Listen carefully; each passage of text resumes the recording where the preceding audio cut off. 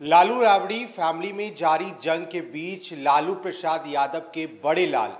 तेज प्रताप यादव को अपनी पहली ही चाल में मात का सामना करना पड़ा। दरअसल ये हम आपको इसलिए बता रहे हैं क्योंकि बिहार में दो सीटों पर हो रहे उपचुनाव को लेकर के उम्मीदवारों की जहाँ एक और घोषणा की गई है, वहीं तारापुर विधानसभा सीट से तेज प्रताप के छात्र जनशक्ति परिषद के समर्थित उम्मीदवार संजय यादव ने पर्चा भरा और अगले ही दिन उन्होंने अपना नाम वापस ले लिया और तेजस्वी के लालटेन की रोशनी को तेज करने का ऐलान कर दिया। जिसके बाद बौखलाए तेज प्रताप यादव ने तेजस्वी यादव के सलाहकार पर निशाना साधा है और कहा है कि उनके खिलाफ सी ग्रेड की कहानी रची जा रही है। दरअसल बिहार में विधानसभा की दो सीटों पर तारापुर और कुशेश्वर स्थान में उपचुनाव हो रहे हैं। दो सीटों पर होने वाले उपचुनाव बिहार की सियासत के लिए काफ़ी अहम हो गया है। इस उपचुनाव के परिणाम बिहार की सियासत की दिशा तय करने वाली है।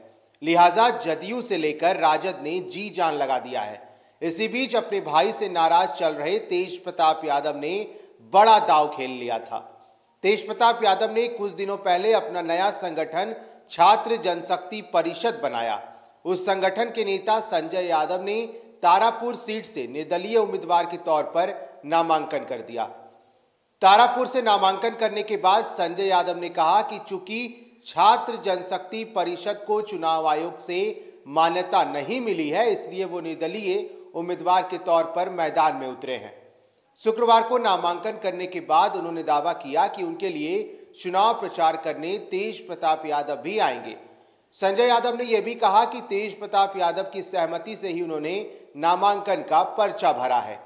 तेज प्रताप यादव के दूत बताए जा रहे संजय यादव ने शुक्रवार को नामांकन किया, लेकिन अगले ही दिन पलट गए। शनिवार की रात वे तेजस्वी यादव के घर पर पहुँच गए। तेजस्वी के सामने उन्होंने राजद की सदस्यता लेते हुए नामांकन वापस लेने का ऐलान कर दिया। संजय यादव ने कहा कि वे गलतफहमी में चुनाव लड़ने चले गए थे। अब राजद उम्मीदवार को जीत दिलाने का काम करेंगे।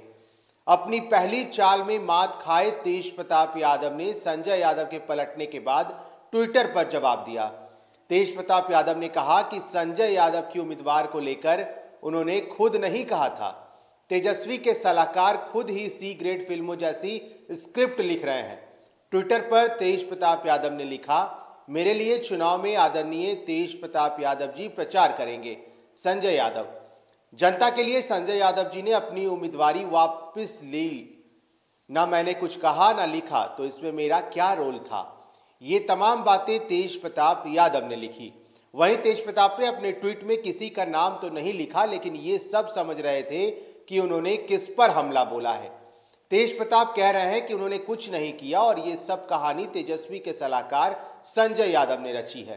तेजस्वी के लिए सियासी रणनीति बनाने वाले संजय यादव हरियाणा के रहने वाले हैं। तेज प्रताप पहले भी अपने भाई के सलाहकार पर निशाना साधते रहे हैं।